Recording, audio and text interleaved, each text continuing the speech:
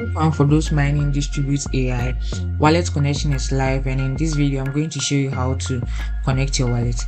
So on your dashboard, you head on to this button here, that's the Windows button, you click on it and you go to settings, you click on settings too and it's going to bring you to this page, then you click on wallet. Once you come here, you click on add wallets and you are going to select the wallet you are going to using. So uh currently they have just four wallets here. So phantom hot wallet um backpack and i mean um this thing OKX wallet.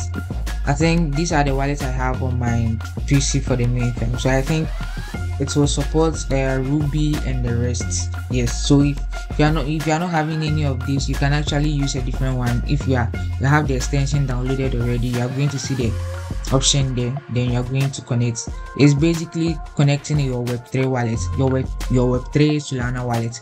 So if you have a different wallet it's going to pop up. And let's read the instructions here. It says wallet can only be bound once. Yeah?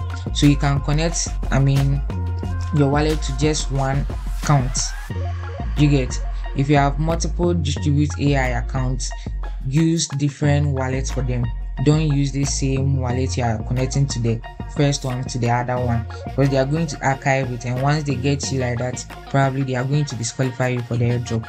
So once we know this we know this we are cool so i'll be using OKX for mine. I'll click on that it's going to initiate a contract call so this is it. This is my address. Then i connect. I click on connect. Then i confirm. Okay so this is it. Once you confirm that's it. You can't change anything again. So make sure you are connecting the right address. Okay. Confirm. And that's it. I mean let me enable as my primary address. So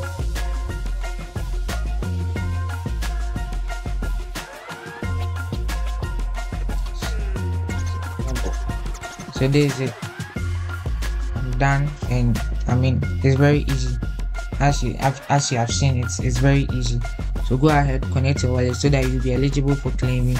And i think they have started hinting tge so we should be seeing i mean tge very soon. The the ticker is out. The ticker is dis i mean that's distributed ai so dis that's the ticker.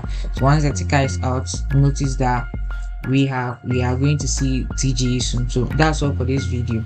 Bye